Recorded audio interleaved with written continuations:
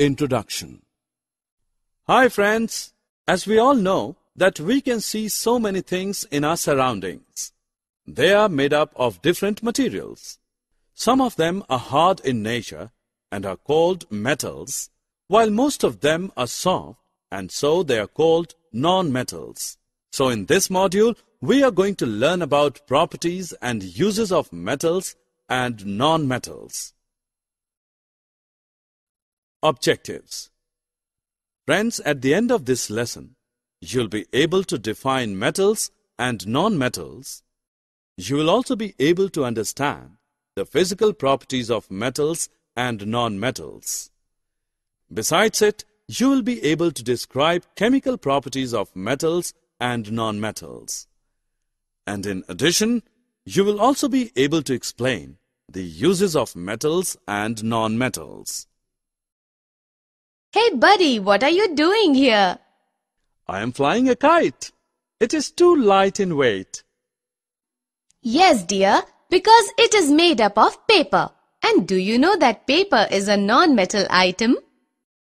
See there, an aeroplane is also flying high in the sky. It is made up of steel and other metals. But what are these metals and non-metals? Friends, we use many things in our daily lives. These are made up of metals and non-metals. Dear, now let's know about their properties. At first we know about the physical properties. The first property of metal is its malleability. By this property, the metals can be beaten into thin sheets. Non-metals don't show this property. Next property is conduction of heat. Metals are good conductors of heat and electricity, while non-metals are poor conductors. The property of metal by which it can be drawn into wires is called ductility. It is the third property of metals. Non-metals don't show ductility. Now let's talk about another property of metals, that is, sonorous. Metals produce ringing sounds when they struck, so are said to be sonorous. The materials other than metals are not sonorous. So friends, by these properties we can say that metals are hard, lustrous, malleable, ductile, sonorous, and good conductors of heat and electricity.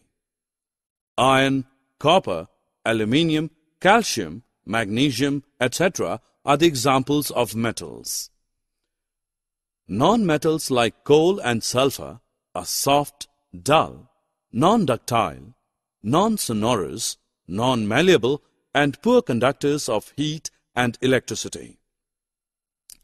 Sulfur, carbon, oxygen, phosphorus, etc. are the examples of non-metals. Friends, after discussing about physical properties of metals and non-metals, let's know about their chemical properties.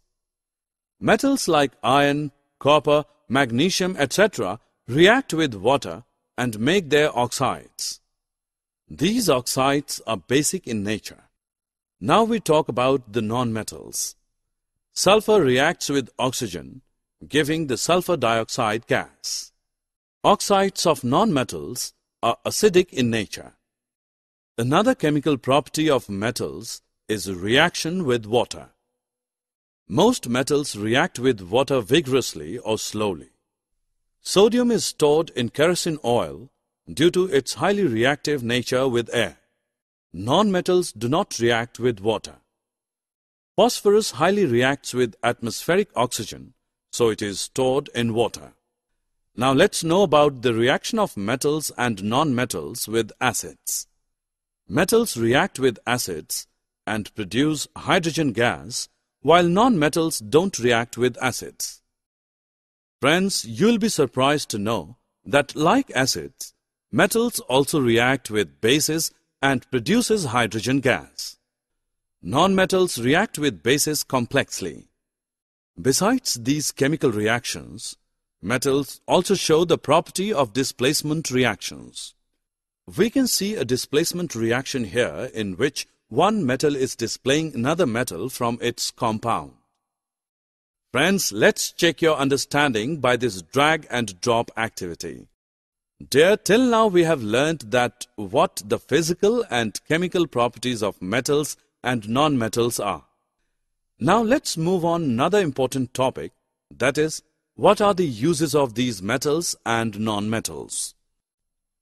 As we know that metals are hard in nature, so they are used in making machinery, automobiles, aeroplanes, trains, satellites, industrial gadgets, cooking utensils, water boilers, etc. Non-metals are not so hard, so they are used in fertilizers, water purification process, life-supporting air, crackers, and purple-colored solution as an antiseptic on wounds. Summary Let us summarize what we have learned. Metals are hard, lustrous, and malleable in nature. Metals are ductile, sonorous, and good conductors of heat and electricity. Iron, copper, aluminium, calcium, magnesium, etc. are the examples of metals. Non-metals are soft, dull, and non-ductile in nature. Non-metals are non-sonorous, non-malleable, and poor conductors of heat and electricity. Sulfur, carbon, oxygen, phosphorus, etc. are the examples of non-metals. Metals react with oxygen to produce metal oxides which are basic in nature. Non-metals react with oxygen to produce non-metallic oxides which are acidic in nature. Some metals react with water to produce metal hydroxides and hydrogen gas, while non-metals do not react with water. Metals react with acids and produce metal salts and hydrogen gas. Generally, non-metals do not react with acids. In displacement reaction, more reactive metals displace less reactive metals from their compounds in aqueous solutions. Metals and non-metals are used widely in everyday life. Did you know? Silver, gold and platinum atoms are not easily oxidized. So, silver, gold and platinum simply fall from the anode to the bottom of the tank where they can be scrapped up after the electrolytic refining process is complete. Corrosion Metals that are chemically active get corroded in the presence of a moist atmosphere. Corrosion is an oxidation reaction with atmospheric oxygen in the presence of water on the surface of a metal. For example, iron and aluminium corrode. However, non-reactive metals like gold, platinum, mercury do not corrode. There are three ways to prevent corrosion. Sacrificial protection, where the more reactive protecting metal is oxidized away, leaving the protected metal intact. Alloying, where metals are mixed with other metals to make non-rusting alloys. Galvanizing, where a metal is covered in thin zinc layer. This layer is produced by electrolytic deposition. Summary Let us summarize what we have learned. Metals are good conductors of electricity, whereas non-metals are poor conductors of electricity. Metals react with air, water and acids. Metals being arranged in the decreasing order of their reactivity is called a reactivity series. The transfer of electron from the atom of an element to the atom of another is called an ionic compound. Metals are extracted from ores. The most widely used method for refining impure metals is called electrolytic refining.